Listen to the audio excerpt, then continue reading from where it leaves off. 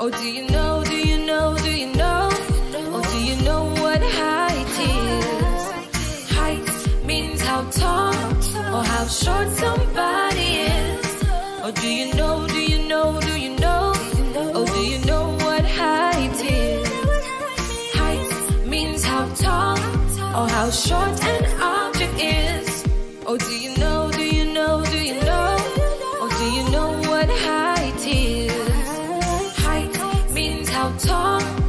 how short somebody is.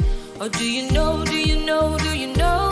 Oh, do you know what height is? Height means how tall or how short an object is. Hello, hello, hello. Welcome back, mathematicians. Let's learn about height. Just before we go on, I want you to do something for me quickly. Look around you. I'm sure you can see objects that are tall and short. I'm also sure that you've seen some tall people and some short people around you.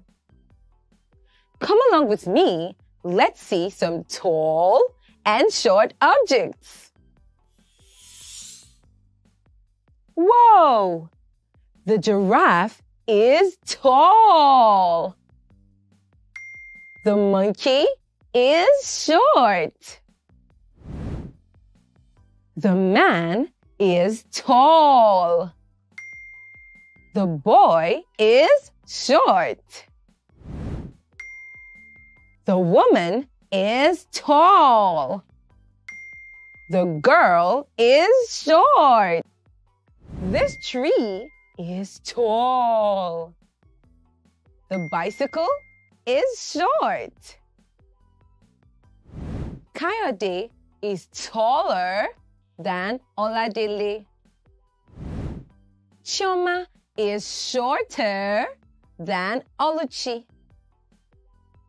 Now, sing along with me.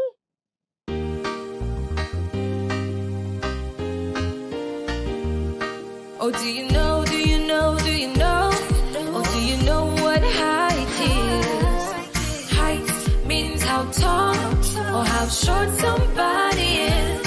Oh, do you know, do you know, do you know? Oh, do you know what height is?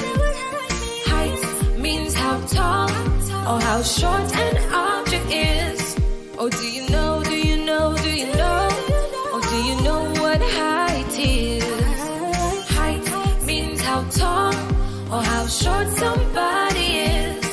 Oh, do you know, do you know, do you know? Oh, do you know what height is? Height means how tall or how short an object is. Now that you know about height, you should be able to identify tall or short people or things around you. Okay, amazing mathematicians, it's time for you to tell me if these objects and people are tall or short. The building is tall. The pole is short. The man is tall. Well done, mathematicians. Remember that height means how tall or how short something or someone is. Have fun comparing the heights of objects and people around you. See you next time. Bye bye.